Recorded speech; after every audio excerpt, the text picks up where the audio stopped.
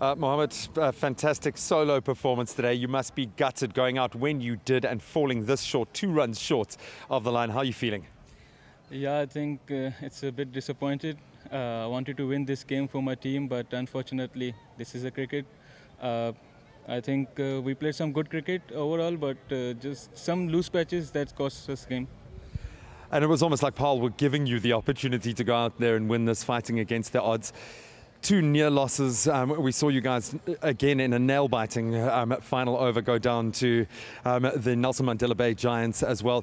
What gets said in the, the changing room now? Not a huge amount needs to change. You guys are playing well. Yeah, I think we are playing good cricket uh, against uh, Nelson Mandela Bay and now against Apol. Uh, just little bit mistakes which uh, cost us both game. Uh, nothing to do much, just uh, a little bit get together and go for the next game. So this is a spectator sport and the fans watching on TV, the fans online have loved you. You are today's newest member to our dream team, courtesy of the Fantasy League. You are our MVP. What message do you have for the fans that you have entertained so well today?